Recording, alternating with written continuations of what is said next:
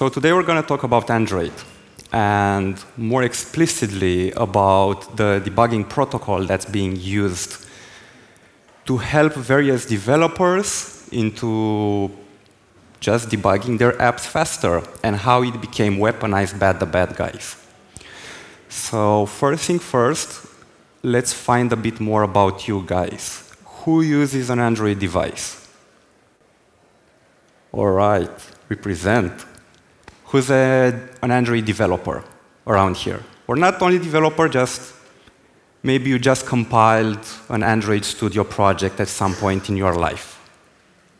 Nice, nice. So all of the stuff that it's being pushed to your phone is being pushed through the Android, through the USB cable.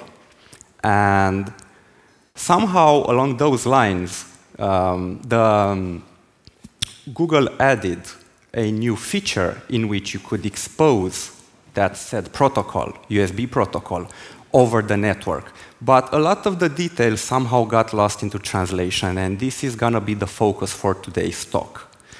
Uh, a bit more about me. Um, I recently joined the cybersecurity field a few years ago. I did my big stunt by hacking, doing some simple MIFARE hack on the public transportation system in Bucharest, which, on which I did a responsible disclosure and got PR karma. And after I discovered that I couldn't travel freely around Bucharest, I decided to basically hack my car. And this led to some interesting discoveries about the amount of information that your car knows about you. In my case, it knew a lot more about me than I knew myself about my phone.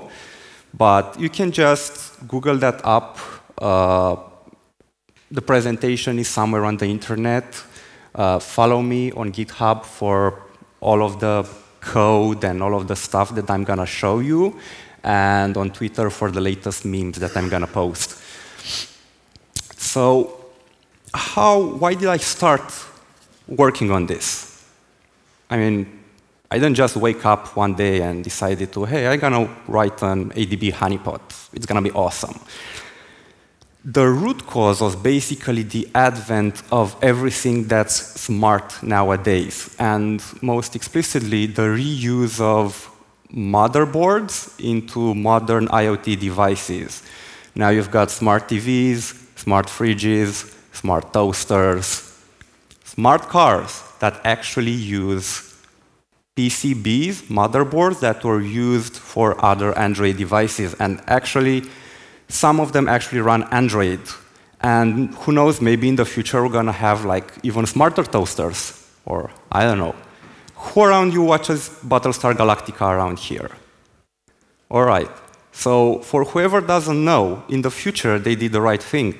They basically banned all IoT devices, so you no longer had any kind of network communication between devices, at least in military applications. But more on that later.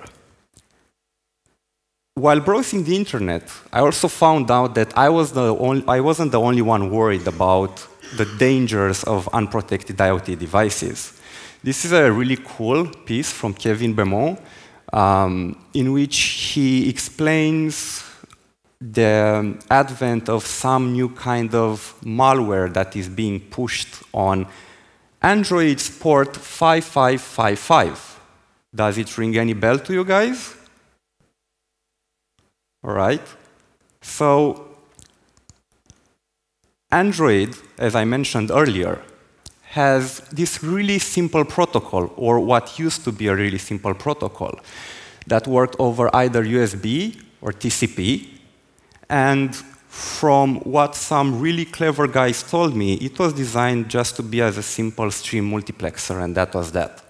However, over the years, more and more and more stuff got added and this somehow complicated things, but I thought, how hard can it be? I will just read RFCs and it will work. Well, it didn't.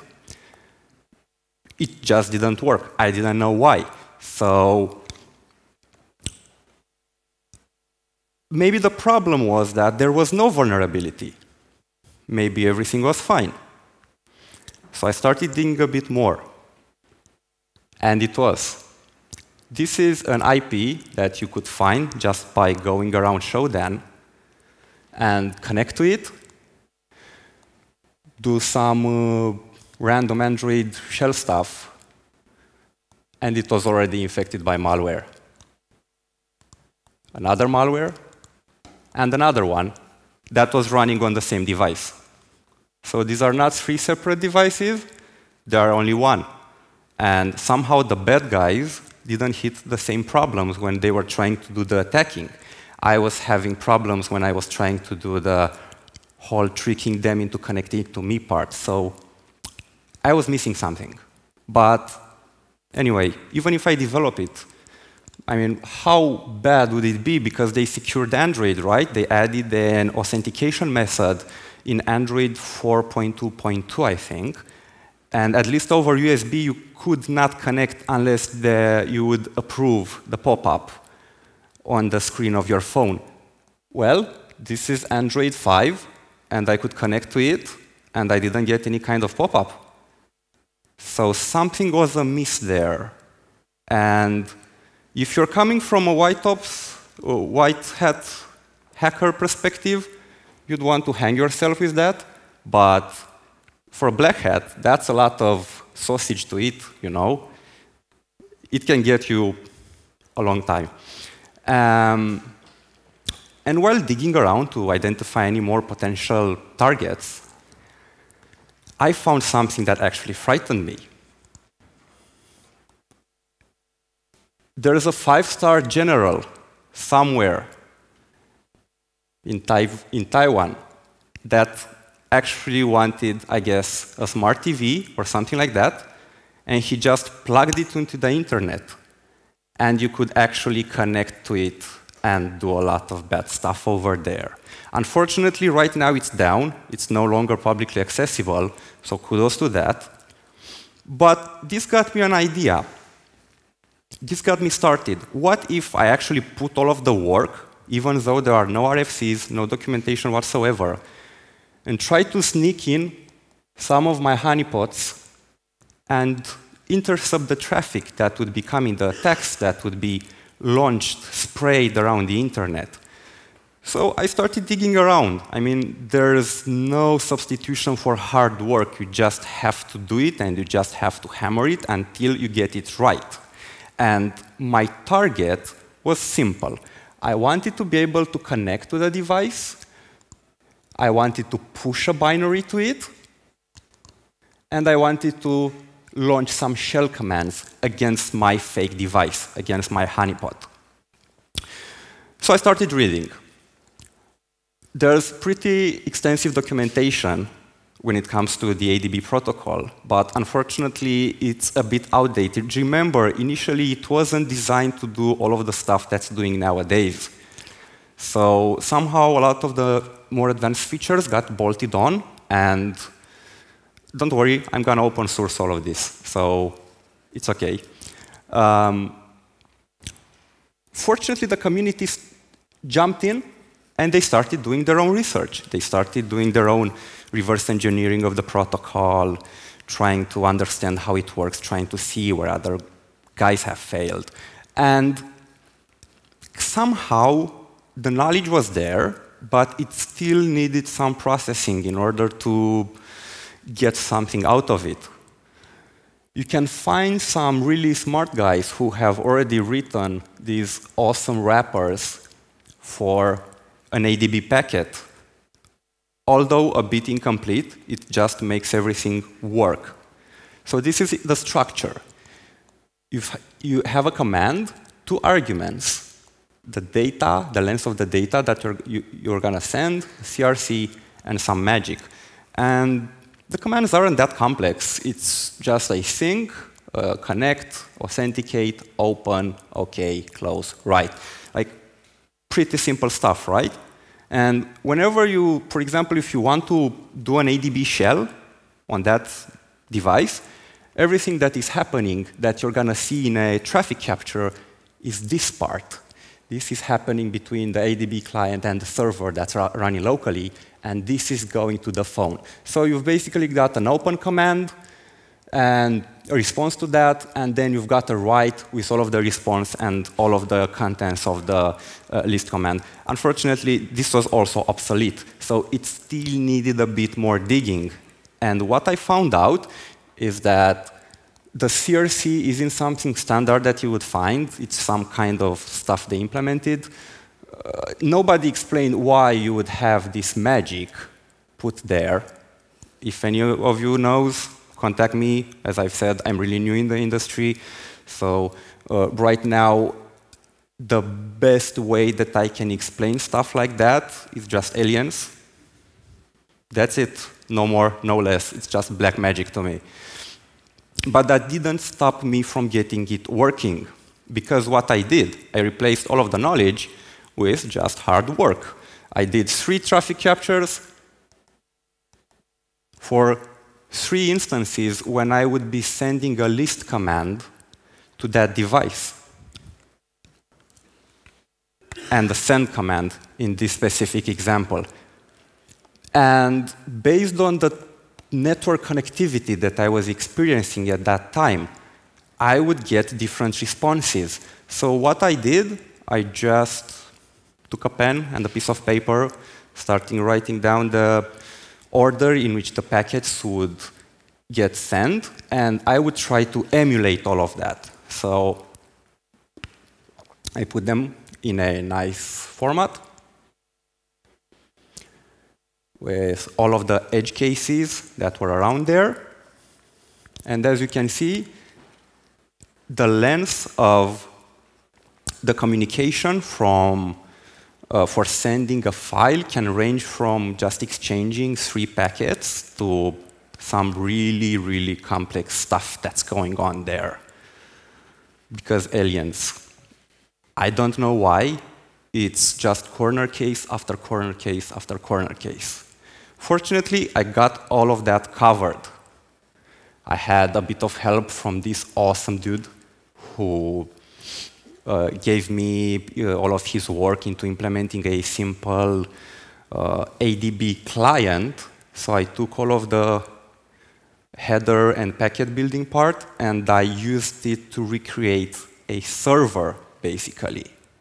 And after a lot of work, of a lot of just endless nights and fights with my girlfriend, I finally made it. It worked. I could send files, I could send shell commands, and most importantly, it wasn't only me who was connecting to my fake device, it was also a lot of bad guys. And we're gonna talk about that first, uh, after I show you this. You can connect at any time to one of my publicly exposed honeypots and test it right now. If you want to say hi, just uh, drop your payload right there. You're gonna have a really cool uh, entourage to hang out with.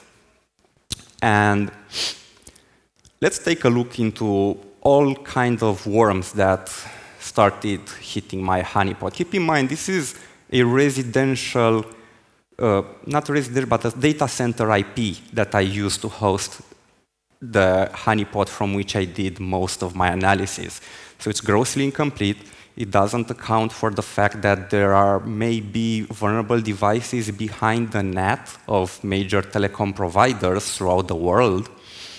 And I'm gonna talk about that a bit later. So,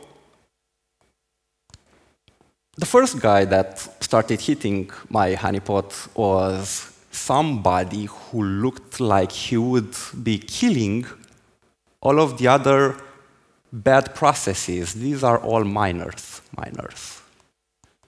A lot of mining going on. So he basically shut down everything, so you would have a clean device, right? No. Uh, he also pushed, pushed his own miner after that and starting mining on a clean device, basically. Um, the most proficient actor that I found and that is still highly active right now on the internet is Trinity. And I've actually written a blog post about this. You can go look it up. It goes into great details onto how Trinity works. But what Trinity is, um, it's basically a worm that first connects to your device. It checks if the miner is installed. If it's not installed, it pushes the APK to the device. And then it launches it. And after that, it also checks if the wormable part of the worm, of the malware, is present as well, which is uh, Trinity, the Trinity process, this one. So after doing a bit of binary analysis, I discovered that uh, Trinity was actually scanning all of the internet and pushing itself and the mining binary to any target that it found to have this 5555 port open. And it was mining through uh, a web view that was loading a simple HTML file that had a CoinHive script, just like old times. And inside the binary, you could see how it was trying to create a random IP and send all of the commands that I've shown you earlier to the vulnerable device. But looking back at the first guy, he was actually shutting down around seven other, act other actors. So I thought, man, there must be a lot more, and there was. Meet FBot, uh, a blockchain malware, because blockchain is uh, the buzzword right now, even in the malware community. Um, the guys at 360 did a really cool job in analyzing it. And it didn't do anything malicious per se. It was only mining. So I guess it was like a um, victimless crime. If you think that your phone blowing up doesn't make any victims. And a really cool journalist, Cătălin Cimpanu, wrote a piece about Trinity and FBot actually fighting over the ownership of these devices. Keep in mind that when I initially started doing the research, there were, were about 70,000 devices or so. And at the end, the number dropped to about 10,000. So, kinda their fair share of the whole pie shrunk, as the share of the pie shrunk down, they would be more and more desperate to shut themselves down. Especially when you look at more and more guys that were trying to push their own malware onto those devices. So this guy was trying to bypass any firewall by just doing some encoding uh, of the payload. And you can see it here, but right here it's basically launching what all of this, which is the first stage downloader that would drop another binary that would start mining on your own device. Um, I might say that the variety when it came to building malware and naming malware and the targets that that malware was targeting was quite diverse. For example, we had something called Putin's helper. No, not this guy. Um, which was targeting DVR devices. So at some point, somebody discovered that a lot of DVRs had the port open and were basically running Android. So he had this great idea of making money and mining off them. And the devices are still out in the open, left exposed and vulnerable, thanks to the great fragmentation of IoT. So what can we do? One of the funniest guy that I found was the apologetic miner. He said he's sorry, but he's mining on my device, not because he wants, but because he needed the cash. He's truly sorry, but currently he can't find any job, so he has to resort to his black hat way in order to survive. He even left his uh, email here, so you can uh, drop him an email and he'll send you his CV back.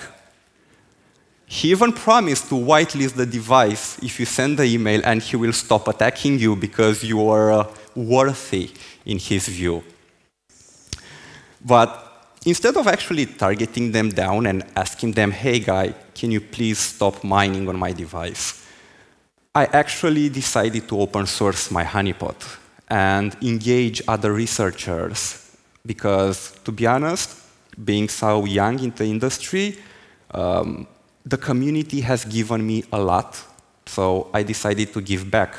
And shortly after, the number of vulnerable devices dropped by 75%, at least, mainly because people were actually running that and actually submitting abuse reports to the authorities. And I found that exhilarating. I mean, they were using my product that was based on some other guy's research and journalism made in a completely different country to shut down malware from all around the world.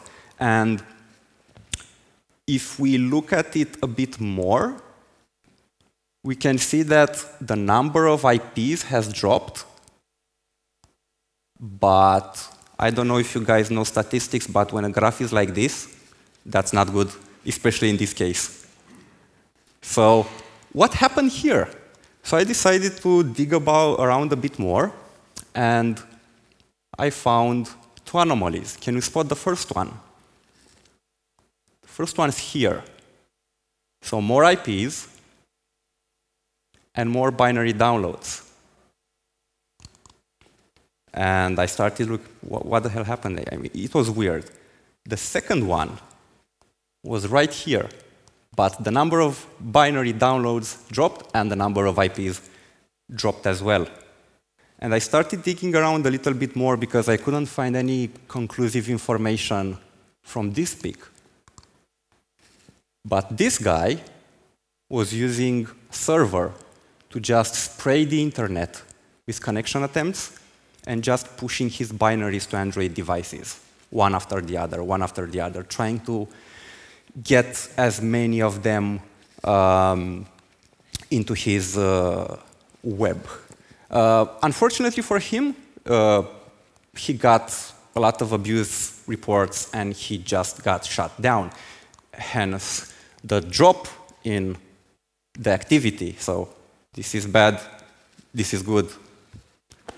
Um, and another really cool side effect of just releasing a product is that people have actually started creating memes.